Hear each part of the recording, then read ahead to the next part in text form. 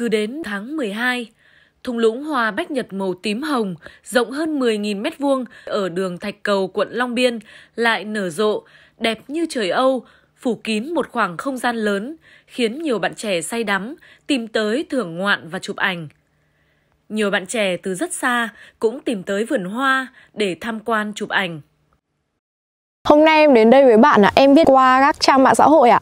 Khi mà đến đây thì em rất là bất ngờ tại vì vườn hoa rất là rộng, rộng hơn rất là nhiều so với suy nghĩ của em và có một cái ờ, ấn tượng đầu tiên của em, đấy chính là cái vườn hoa bách nhật màu tím hồng này. Thật sự rất là đẹp luôn như kiểu trong tranh ấy ạ. Chụp ảnh lên ảnh nào cũng đẹp rất là ưng ạ. Trước đây, hoa bách nhật chỉ có màu đỏ và trắng.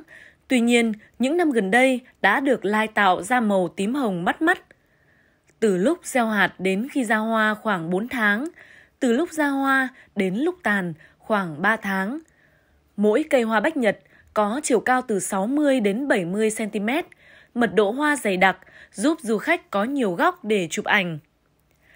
Bắt đầu ươm mầm cho đến khi ờ, cây nở hoa thì ờ, dao động ờ, mất khoảng từ 4 tháng cho đến 4 tháng rưỡi và từ khi hoa nở cho đến khi hoa tàn thì à, rơi vào khoảng à, à, được 3 tháng tùy vào cái chế độ chăm sóc và cái thời tiết của cái mùa vụ đấy. Năm nay chúng tôi trồng là khoảng 130.000 cây. Hoa bách nhật có nhiều tên khác nhau như bách nhật hồng, thiên nhật hồng mang hai màu chính là trắng và tím.